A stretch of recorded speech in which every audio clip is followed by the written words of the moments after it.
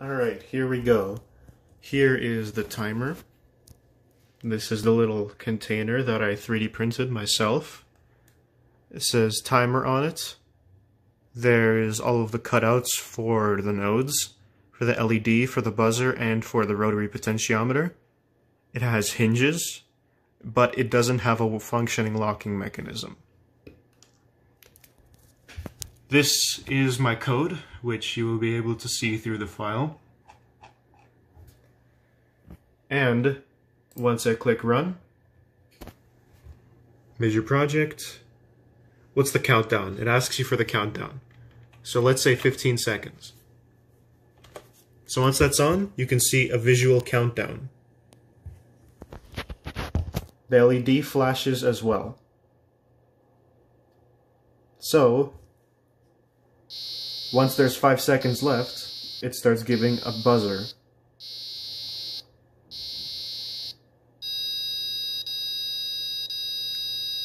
And that last part was when it indicates that the time is up, with a little siren noise. And then the code turns off.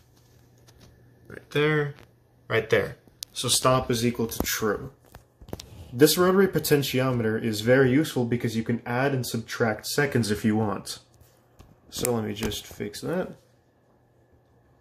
Let's run it.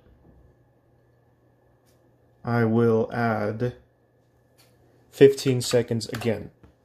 And now, let me use the rotary potentiometer. There. That's adding 10 seconds. 20 seconds. 30 seconds. Subtracting 10 seconds.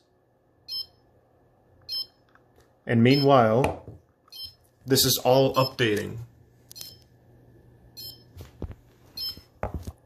So if we stop subtracting seconds, it'll just keep counting down. LED will keep blinking by the second, and once the time eventually reaches under 5, there will be an audible countdown. And then there will be the siren that activates.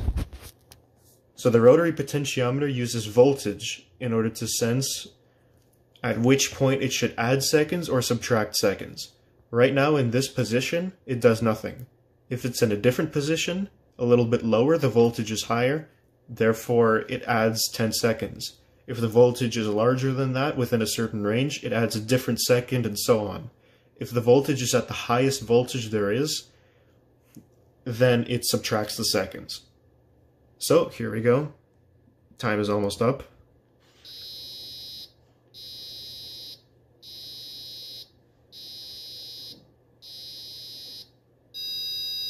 There we go.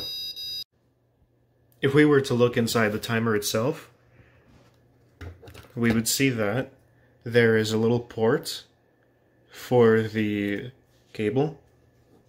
We would see that there are lots of exposed wires, however, there is no way that I was able to conceal them, but the main board itself is concealed under here in a very compact little setup. Looking at how I designed the 3D printed box over here, I used Tinkercad in order to design the first iteration with this large box over here that you can see. You can see it a bit better this way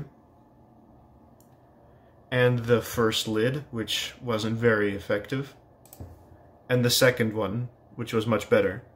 And if we go on the processing, here it is. I can set whatever infill I want, whatever profile I would like, and it would tell me how long this would work for.